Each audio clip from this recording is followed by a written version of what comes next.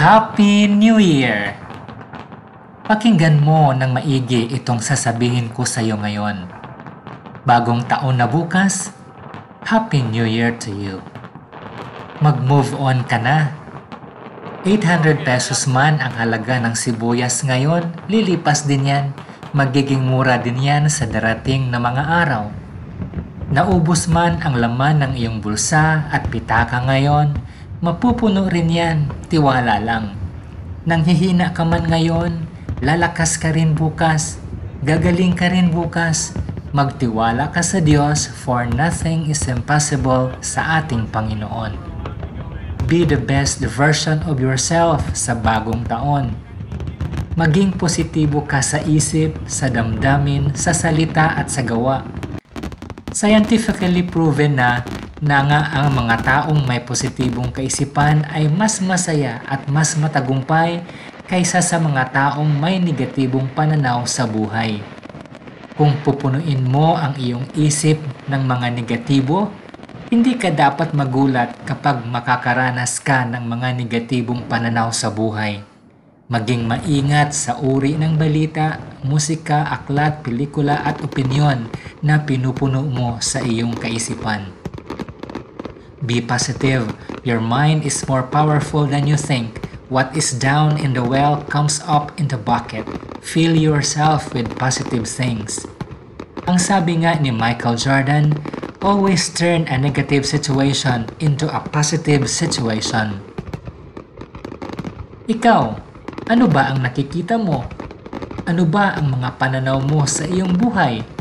Alam mo ba, rich people see opportunities. Poor people see obstacles. Rich people see potential growth. Poor people see potential loss. Rich people focus on the rewards. Poor people focus on risks. What you see is what you get. Huwag kang matakot sa pagkabigo. Sa halip, maging handa ka sa mga kabiguang darating. Ang sabi nga ni Bill Gates, It's fine to celebrate success, but it is more important to heed the lessons of failure. Si Oprah Winfrey naman ang nagsabi, Failure is another stepping stone to greatness. Our greatest glory is not in never failing, but in rising every time we fail, ang sabi ng Confucius. Alam ng mga matagumpay na tao na ang kanilang sariling kinabukasan ay nasa kanilang mga kamay. Alam nilang may kapangyarihan silang lumikha at may kapangyarihang sumira. Hindi sila naghihintay sa ibang tao o gumagawa ng mga dahilan kapag sila ay nagkamali. Naiintindihan nila na ang mga bawat araw ay isang regalo at alam nila kung kailan sila mag-move forward, kung kailan huminto pansamantala at kung kailan mag-move backward. Trust in God. Ang sabi nga ni Rick Warren, The more you believe and trust God, the more limitless your possibilities become for your family, your career, and for your life. Our trust in God protects us from becoming helpless victims of circumstance.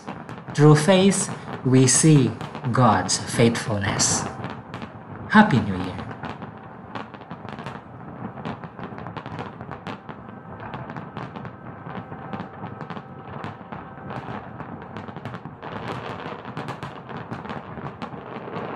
雪的样子。